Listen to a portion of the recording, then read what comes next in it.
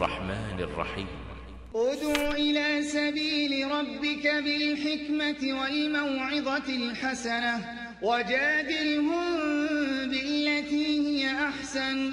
إن ربك هو أعلم بمن ضل عن سبيله وهو أعلم بالمهتدين.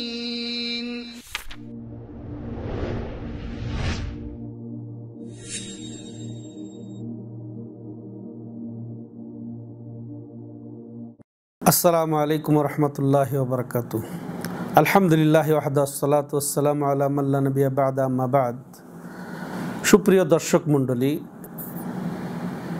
আমরা আজকে এক গুরুত্বপূর্ণ বিষয় নিয়ে আপনাদের সামনে উপস্থিত হয়েছি, আর তা হচ্ছে মিলাদুন্নবী উদযাপন। তা আমরা কালেমা শাহাদাত বা সাক্ষ্য সাক্ষ্য দেই যে লাহিল্লাহ মুহাম্মাদুর রসুল্লাহ এই সাক্ষ্যের দাবি কি? এই সাক্ষ্যের দাবি প্রথম অংশের দাবি যে আমরা একমাত্র আল্লাহর এবাদত করব, আল্লাহর এবাদতে কাউকে শরিক করব না।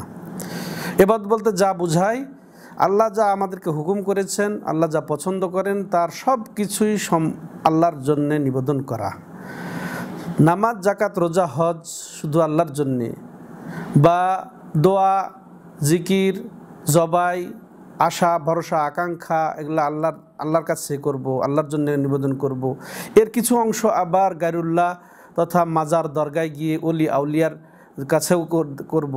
অলি অলি আউলিয়ার জন্যও নিবেদন করব। সেটা হবে শিরিক। তাহলে এটা লা দাবির পরিপন্থী।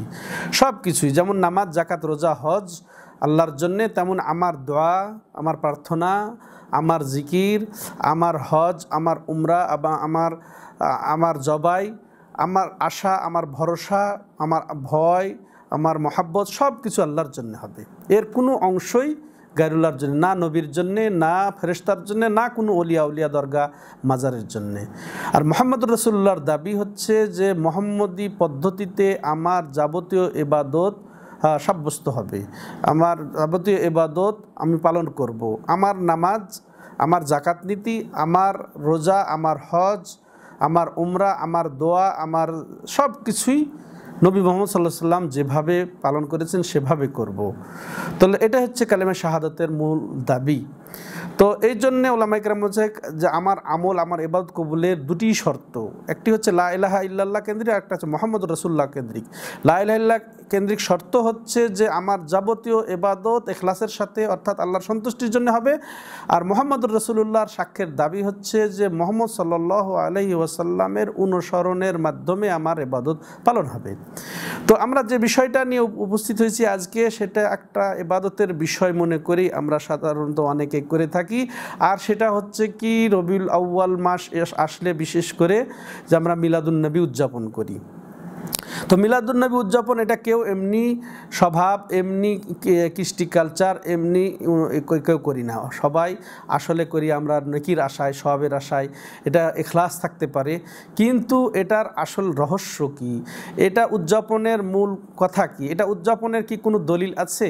নবী সাল্লাহ আলহি ওয়াসাল্লাম কি মিলাদুন নবী উদযাপন করেছেন তার পূর্বের নবীর? বা তার কোনো আত্মীয় স্বজনের? করেন নাই। সাহাবাই কেরাম করেছেন? করেন নাই। তাবিনে কেরাম করেছেন, কেউ করেন নাই। তাহলে আমরা এটা করলে এটা কি এবাদতের অন্তর্ভুক্ত হবে? এটা কি আমরা, এতে কি আমরা নেকি পাবো?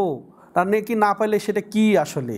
তো নেকি, আর যেটা এবাদত সেটা এবাদতই আর এবাদত মনে করে কোনো কিছু যদি করি আমরা, আর সেটার যদি দলিল না থাকে, সেটাই কিন্তু ইসলামী শরীয়তে বেদাত।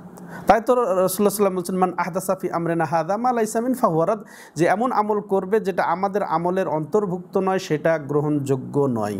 তাহলে ঈদ মিলাদুন নবী যে আমরা উদযাপন করি, এটা কি নবী সাল্লাহ আলি সাল্লাম উদযাপন করেছেন বা তার সাহাবারা করেছেন, যদি না করে থাকেন, সেটা দিনের অন্তর্ভুক্ত নয়। সেটা যদি কেউ দিনের অন্তর্ভুক্ত মনে করে বা এটা এবাদত মনে করে, সবের আশায় করে থাকেন, তাহলে অবশ্যই এটা রসুল ইসলামের যেটা সতর্কীকরণ যে সেটা প্রত্যাখ্যাত, সেটা গ্রহণযোগ্য হবে না, তার অন্তর্ভুক্ত। কারণ এটা দলিল নেই। এটা নবী করিম সাল্লাহ আলি সাল্লাম করেন নাই, খোলাফে রাশেদিন করেন নাই সাহাবাই কেরাম করেন নাই। বরং এটা এর বিপরীত এটা হচ্ছে যে এটা কাফের মুশ্রিকদের সাদৃশ্য। এটা খ্রিস্টানদের, এটা কৃষ্টি কালচার অন্তর্ভুক্ত। তারা তাদের নবী ঈসা আল ইসলামের জন্মবার্ষিকী পালন করে। ঠিক আর অনুকরণ করেই এটা আসলে শিয়া খলিফা মইজলে দিন ইল্লার আমলে ওটা আবিষ্কার হয়। এটা এটা আসলে ছিল না। চারশো হিজরি শতাব্দীর পূর্বে এটা ছিল না। বরং এটা এর পরবর্তীতে মিশরের কায়রোতে এটা মইজলে দিন ইল্লা খেলাফতে এটা শিয়া খলিফার খেলাফতে আবিষ্কার হয়, যেটা আসলে আজকে আহলে সুনাতল জামাত আর মুসলিমদের মধ্যে এটা ছড়িয়ে পড়েছে। তো এটার সাথে আসলে ইসলামের কোনো সম্পর্ক নাই, শরীয়তের কোনো সম্পর্ক নাই। অব, এর থেকে আমরা বিরত থাকব। তো এমনি নবীর প্রতি দরুদ পড়া, এটা আমাদের জন্যে করণীয়। আমাদের নবীর অনুসরণ করতে হবে, মহাব্বত করতে হবে, এটা ফরজ। তো এগুলোর প্রতি আমরা লক্ষ্য করব, কিন্তু মিলাদুল নবী উদযাপন থেকে আমরা বিরত থাকব, কারণ এটা প্রচলিত একটি অন্যতম বেদাত।